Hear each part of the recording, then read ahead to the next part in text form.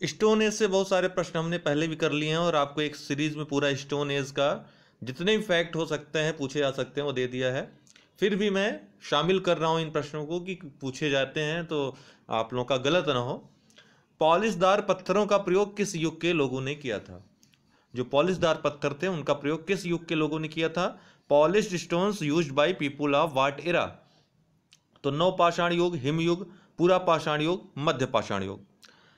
देखिए, भारत में नव पाषाण काल में जिसका प्रारंभ सात हज़ार ईसा पूर्व से, जबकि विश्व स्तर में यदि बात की जाए नव पाषाण काल की तो नौ हज़ार ईसा पूर्व से माना जाता है।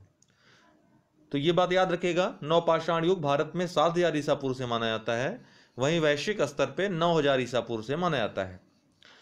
नव पाषाण काल के लोग ही पॉलिशदार पत्थर के औजारों का और उनसे बने हथियारों का प्रयोग करते थे। वही नहीं इसी काल में अर्थात नव पाषाण काल में ही कृषि और पहिए का भी आविष्कार होता है। आग का आविष्कार दोस्तों पूरा पाषाण काल में होता है, लेकिन सर्वाधिक उपयोग इसी काल में अर्थात नव पाषाण काल में होता है। लेकिन आग का आविष्कार जो हुआ था, खोज जो हुई थी, पूरा पाषाण काल में ही हो गई थी। ठीक है तो इसका उत्तर होगा ए नव पाषाण युग, नियोलिथिक एरा। निम्नलिखित बौद्ध ग्रंथों में से किसमें संघ जीवन के नियम प्राप्त होते हैं? Which of the following Buddhist text contains the rules of associations life तो आप जानते हैं तीन पिटक हैं। कौन कौन से? विनय पिटक सुत्त पिटक और अभिधम्म पिटक। विनय पिटक उन तीन बौद्ध ग्रंथों में से एक है जो त्रिपिटक कहलाते हैं, अर्थात अभिधम्म सुत्त और विनय में से एक विनय पिटक है। विनय पिटक, भिक्षु और भिक्षुड़ियों के संघ और दैनिक जीवन जो संबंधी नियम है, जो संघ के नियम हैं और उनके जो आचार विचार हैं, वो सब इसमें समाहित हैं। वहीं बौद्ध धर्म के उपदेश की बात की जाए तो अभिधम्म पिटक में बौद्ध धर्म के उपदेशों का वर्णन है। और अंतिम जो सुत्त पिटक है, तीसरा पिटक, सुत्त पिटक है, उसमें बौद्ध धर्म के जो दार्शनिक सिद्धांत हैं, उनका वर्णन मिलता है। तो याद रखिएगा तीनों पिटक और उनके विषय को। विनय पिटक में जो संघ जीवन है, उसके बारे में वर्णन प्राप्त होता है, ठीक? और अभिधम पिटक में बौद्ध धर्म के उपदेशों का वर्णन है सुत्त पिटक में बौद्ध धर्म के दार्शनिक सिद्धांतों का वर्णन मिलता है। तो इसका क्या होगा दोस्तों? संघ जीवन के नियम, विनय पिटक, सी इसका उत्तर हो जाएगा। आगे बढ़ते हैं। जैन धर्म के संबंध में निम्नलिखित में से कौन सा कथन सही है? Which of the following statements regarding Jainism is correct यह कर्मवाद में विश्वास करता है, यह कर्मवाद में विश्वास नहीं करता है, यह कर्मवाद के संबंध में मौन है, यह कर्मवाद की भर्सना करता है। तो देखिए जैनिज्म जो है, कर्म पर, कर्म कर्म के सिद्धांत पर आधारित है। यह कर्मवाद पर अटूट विश्वास रखता है। उसका मानना है, संसार के सभी प्राणी अपने अपने जो संचित कर्म है, जो कर्म किए करता है, उसी के अनुसार फल भी उसको मिलता है। अर्थात कर्म ही और कर्मों का फल ही जन्म और मृत्यु का कारण है। जैन धर्म में संलेखना और निषिद्धि प्रथा ये सभी प्रचलित थी। संलेखना के बारे में आपने सुना भी था, बीच में काफ़ी प्रचलित भी थी। मौर्य साम्राज्य के संस्थापक चंद्रगुप्त मौर्य ने भी समण बेलगोला में जाकर संलेखना विधि से अपने प्राण त्याग दिए थे। ठीक है ना? तो इसका ए उत्तर होगा, यह कर्मवाद में विश्वास करता है। अशोक के रुमिंदई अभिलेख में किस कर के वसूले जाने का उल्लेख मिलता है? रुमनदेही अभिलेख जो है, उसमें दोस्तों, बलि, जो सी इसका है, ये उत्तर होगा बलि।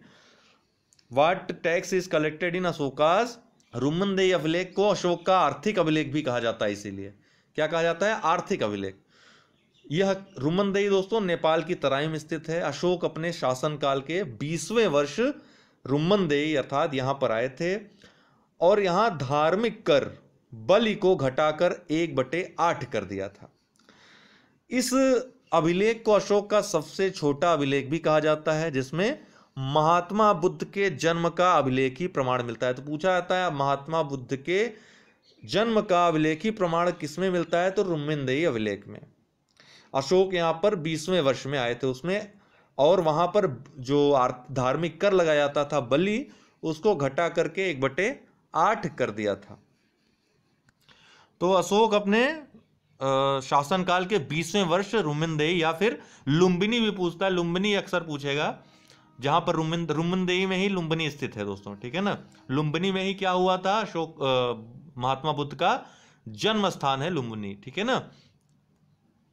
तो बीसवें वर्ष आकर यहाँ पे बलि कर को घटा दिया था, एक बटे आठ कर दिया था। सी इसका उत्तर है। सुमेलित करें, यहाँ सही सुमेलित करना है, किसको किस, किसका उपनाम था या किस नाम से जाना जाता था। तो चंद्रगुप्त को दोस्तों सेंड्रोकोटस के नाम से सेंड्रोकोटस नाम उल्लेख है कई जगहों पर। तो सेंड्रोकोटस चंद्रगुप्त के लिए, बिंदुसार के लिए अमित्र घात बी का तीन होगा। अशोक के लिए देवा नाम प्रियदर्शी या प्रियदर्शी का इस्तेमाल हुआ है। प्रियदर्शी वन, चाणक्य को विष्णुगुप्त कहा जाता था। तो सी इसका उत्तर होगा दो, तीन, एक, चार। दो, तीन, एक, चार। आप लोग लगातार हमारे सारे वीडियोस देखिए क्योंकि बहुत ही महत्वपूर्ण है। आप स्वयं जब हमारे ये दस वीडियोस जो इसके पहले आए हैं, वो देख लीजिए। और पेपर कोई सॉल्व करिए, आपको स्वयं समझ में आएगा। कि प्रश्न कहीं और से नहीं आते हैं, यहीं से आते हैं। बाकी जो डाउट हो, आप ऊपर जो दिया गया है आप देख रहे होंगे हैश टैग में मेरा व्हाट्सअप नंबर है, उसमें पूछ सकते हैं। कई लोगों ने पूछा भी अपने डाउट्स को भी तो आप लोग भी पूछते रहिए ऐसे ही। निम्नलिखित सातवाहन नरेशों में किसे तिसमुद तोय पीतवाहन कहा गया? Which of the following Satavahana kings is called तिसमुद तोय पीतवाहन तो दोस्तों, इसका उत्तर होगा डी, गौतमी पुत्र शातकर्णी, को तिसमुद तोय पीतवाहन भी कहा गया है।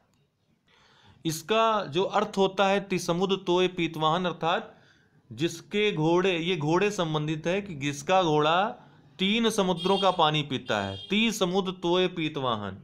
जिसके घोड़े तीन समुद्र के पानी पीते हैं, वो किसके कहा किसके लिए कहा गया है? गौतमी पुत्र शातकर्णी के लिए। गौतमी पुत्र शातकर्णी सातवाहन सातवाहन वंश का एक शासक था।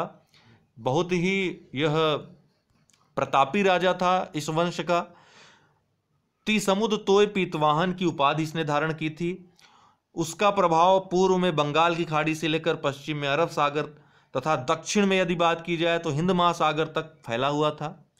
तो इस प्रकार से इसीलिए कहा जाता है कि उसके घोड़े तीनों समुद्रों का पानी पीते हैं। बंगाल की खाड़ी अरब सागर, दक्षिण में हिंद महासागर। इसके बारे में विस्तृत जानकारी दोस्तों, इसकी माता जो बलशी थी, उनके नासिक अभिलेख में मिलता है, जिसमें इसे एकमात्र ब्राह्मण तथा अद्वितीय ब्राह्मण कहा गया है। तो यह पूछा गया है कि नासिक अभिलेख में किसे एकमात्र ब्राह्मण या अद्वितीय ब्राह्मण कहा गया है? तो गौतमी पुत्र शातकर्णी को। गौतमी पुत्र शातकर्णी को दोस्तों वर्ण व्यवस्था का संरक्षक भी कहा जाता है। उसने वर्ण व्यवस्था को संरक्षित करने का प्रयास किया। इसने अपने सिक्कों पर राज सिर भी अंकित करवाया था। तो पूछा जाता है किसने अपने सिक्कों पर राज सिर अंकित करवाया? तो गौतमी पुत्र शातकर्णी ने। अगला है, कौन सा युग्म असत्य है? स्वप्न वासोदत्त भास का है, बिल्कुल सही है। विक्रमो वर्षियम विक्रमो वर्षियम दोस्तों, ये कालिदास का विख्यात नाटक है। इसी में राजा पुरुर्वा और उर्वशी के प्रेम और विवाह की कथा का उल्लेख मिलता है। डायरेक्ट प्रश्न पूछ लेता है कि राजा पुरुर्वा और उर्वशी के प्रेम, विवाह का वर्णन या कथा किसमें मिलता है? तो उर्वशी से विक्रम उर्वशीयम, इसको अगर संधि विच्छेद करें इसका तो विक्रम उर्वशीयम। तो यहाँ पर उर्वशी नाम ऑलरेडी छिपा हुआ है विक्रमोवर्षीयम में तो ये कालिदास का नाटक है। तो यही गलत होगा। पंचतंत्र विष्णु शर्मा ने लिखा है, कामसूत्र वात्स्यायन की रचना है। तो बिल्कुल सही है। इसके अलावा कालिदास की रचनाएँ याद रखिएगा, बहुत महत्वपूर्ण है। अभिज्ञान शकुंतलम, मालविकाग्निमित्रम, रघुवंशम, कुमार संभवम मेघदूतम ऋतु संहार और यह आपका विक्रमोवर्षीयम। इतना याद रखिएगा कालिदास पूछे जाते हैं जब मिलान करने को आता है तो। वो अगर आपको तैयार रहेगा तो जो गलत रहेगा, उसको आप आसानी से ढूंढ लेंगे।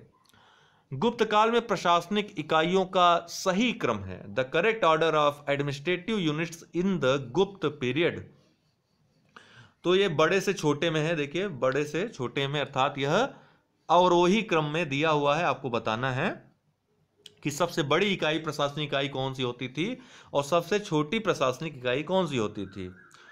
तो इसका दोस्तों, ए ऑप्शन याद रख लीजिएगा, जो सबसे छोटी इकाई थी, ग्राम थी, इसमें से और भुक्ति जो है, सबसे बड़ी थी।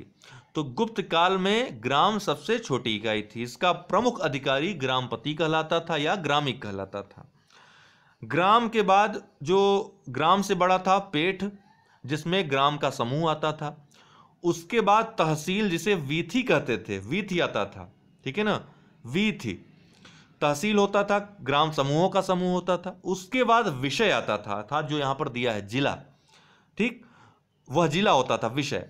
और फिर देश आता था, या देश को ही भुक्ति कहते थे, या अवनी कहते थे। ठीक है ना? या साम्राज्य कहते थे। तो जो सही क्रम होगा, ग्राम ग्राम के बाद पेट, फिर वीथी, विषय, फिर देश, या भुक्ति, या अवन, या साम्राज्य। ठीक है? तो इसका ए ऑप्शन सही होगा। अगला है अलाउद्दीन खिलजी द्वारा प्रचलित बाज़ार नियंत्रण व्यवस्था की देखरेख किस विभाग के नियंत्रण में थी? तो which department oversees the market control system prevailing by Alauddin Khilji? यहाँ पे दोस्तों हमने दीवाने रियासत की एक एक बार और चर्चा की है, बहुत भली भांति चर्चा की है एक वीडियो में, ठीक है? अगर आप टेन पूरा दसों हमारे वीडियोस देखे होंगे तो आपने उसको याद रखा होगा। तो दीवाने रियासत ठीक है ना? दीवाने रियासत के नियंत्रण में थी। अलाउद्दीन खिलजी ने बाज़ार नियंत्रण व्यवस्था जो प्रचलित की थी, उसकी देख रेख हेतु देख रेख के लिए उन्होंने दीवाने रियासत नामक एक नए विभाग की स्थापना की थी। इस विभाग का कार्य जो होता था, सुल्तान द्वारा बनाई गई जो मूल्य सूची थी, उसी के आधार पर सभी सामानों के विक्रय का, क्रय विक्रय का प्रबंध करना था। बाज़ार नियंत्रण व्यवस्था के अंतर्गत सभी वस्तुओं के अलग अलग अधीक्षक बनाए थे उसने, जो शाहने मंडी कहलाते थे। क्या कहलाते थे? शाहने मंडी या शाहना ए मंडी कहलाते थे। अगर हम दीवाने अर्ज़ की बात करें, जो डी ऑप्शन है दोस्तों तो याद रखिएगा इसकी स्थापना बलबन द्वारा की गई थी। इस विभाग का प्रमुख जो था, आरिजे मुमालिक होता था। और यह भी सेना से संबंधित विभाग था। दीवाने अर्ज़ जो है, यह सेना से संबंधित था। वही दीवाने रसालत जो ए ऑप्शन है, इसकी बात करें तो दीवाने रसालत एक विदेश विभाग से संबंधित यह संस्था थी, दीवाने रसालत। इसका जो अध्यक्ष था, वह सद्र होता था। और ये जो आपकी दीवाने रसालत है, दोस्तों, ये बहुत महत्वपूर्ण संस्था थी। इसके लिए किसी अधिकारी या किसी अमीर की नियुक्ति अलाउद्दीन खिलजी ने नहीं की थी। ठीक है? इसका कार्यभार स्वयं अपने हाथ में रखा था अलाउद्दीन खिलजी ने। तो बहुत प्रसिद्ध था डिपार्टमेंट है, दीवाने रसालत। इसी के साथ ही इसके अंडर में एक और उसने विभाग की स्थापना की, जिसे दीवाने मुस्तक राज कहा गया। दीवाने मुस्तक राज, ये कर से संबंधित था। ये दीवाने रसालत के अंडर में कार्य करता था। दीवाने मुस्तक राज। ठीक है? इसके अलावा प्रश्न और भी पूछते हैं, जैसे दीवाने खैरात पूछ लिया। तो दीवाने खैरात खैरात से आप यह समझिएगा, जहाँ पे खैरात शब्द आए, जो निर्धन और असहाय असहाय लोग थे, ठीक है, बहुत गरीब लोग थे, उनके लिए दीवाने खैरात की स्थापना की गई थी। किसने की थी? फिरोज शाह तुगलक ने। तुगलक वंशी शासक फिरोज शाह तुगलक ने की थी, जिसका प्रमुख कार्य निर्धन और असहाय असहाय लोगों के, जो पुत्रियों के विवाह आदि के लिए या किसी अन्य कार्यों के लिए वित्तीय सहायता उपलब्ध कराया जाता था। तो इसका उत्तर जो पूछ रहा है बाज़ार नियंत्रण व्यवस्था की देखरेख के लिए तो दीवाने रियासत बी इसका उत्तर होगा। बाकी जो विभाग आएँगे धीरे धीरे किसी किसी न किसी टेस्ट में सम्मिलित करते हुए समाप्त हो जाएगा। और ग्रुप में एक साथ सब हम दे देंगे। आप लोग थोड़ा इंतज़ार करिए हम आ, मुझे पता है कुछ चीज़ें लेट हो जाती हैं ग्रुप में देने में लेकिन मैं धीरे धीरे सब प्रोवाइड कराता रहूँगा। मोहम्मद बिन तुगलक द्वारा दीवाने अमीर कोही नामक कृषि विभाग स्थापित करने का उद्देश्य था। मोहम्मद, देखिए, सबसे पहले तो दीवाने अमीर कोही या दीवाने कोही भी कहा जाता था। इसकी स्थापना किसने की थी? मोहम्मद बिन तुगलक ने। किससे संबंधित था? तो कृषि से संबंधित था, कृषि विभाग था। तो यहाँ पर यह भी फैक्ट आपको याद रखना है। तो किस, इसका उद्देश्य क्या था? भू राजस्व वसूली को नियमित करना। The aim was to up an agriculture department called Diwan-e Amir Kohi by Muhammad bin Tughlaq is भू राजस्व वसूली को नियमित करना, उन्नत किस्म के संकर बीजों का उत्पादन, कृषि की उन्नति, ए व सी दोनों। तो बोथ ए एंड सी ए और सी दोनों होगा, अर्थात भू राजस्व वसूली वसूली को नियमित करना और कृषि की उन्नति, ये दोनों ही इसका उद्देश्य थे। तो दीवाने कोही या दीवाने अमीर कोही की स्थापना मोहम्मद बिन तुगलक द्वारा की गई थी। कृषि विकास और मालगुजारी व्यवस्था की जाँच हेतु तो इसकी स्थापना की गई थी। यह विभाग कृषि से एग्रीकल्चर से संबंधित था, जिसका अध्यक्ष अमीरे कोही कहलाता था। दीवाने अमीरे कोही का जो अध्यक्ष कहलाता था, अमीरे कोही कहलाता था। अकाल से निपटने के लिए मोहम्मद बिन तुगलक ने एक अकाल संहिता का निर्माण करवाया था। याद रखिएगा, पूछा गया है कि अकाल संहिता का निर्माण किसने करवाया था? मोहम्मद बिन तुगलक ने, जिसके अंतर्गत उसने कुएँ खोदने, बीज तथा हल खरीदने के लिए कृषकों को कृषि ऋण भी प्रदान किया था। तो कृषकों को कृषि ऋण किसने प्रदान किया था? या जिसको सोंधर कहा गया? क्या कहा गया? सोंधर। यह एक कृषि ऋण था, सोंधर, जो मोहम्मद बिन तुगलक ने किसानों को प्रोवाइड करवाया अकाल के समय, ठीक है? या मुश्किल के समय। डी इसका उत्तर होगा। बहुत बहुत धन्यवाद दोस्तों।